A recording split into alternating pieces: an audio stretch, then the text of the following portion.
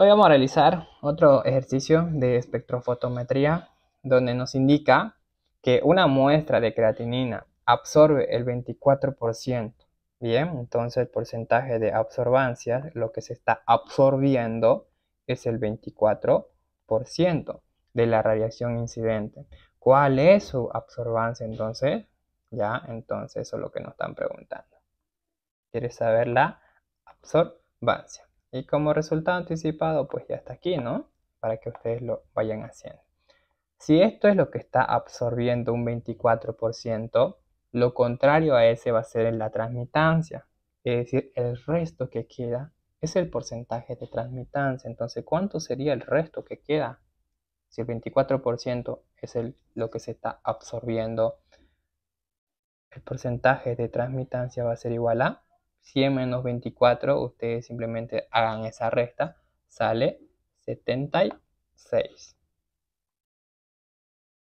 ¿Ya? 76. ¿Y cómo yo convierto de transmitancia a absorbancia? Siguiendo una fórmula.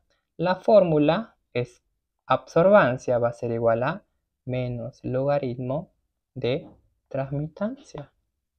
¿Ya? Pero no van a colocar el 76%, no.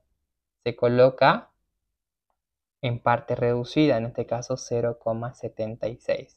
Si fuese 80%, entonces sería 0,8. Eso tienen que aprender a interpretar, porque si ustedes me colocan ese 76 aquí, entonces ya estaría mal.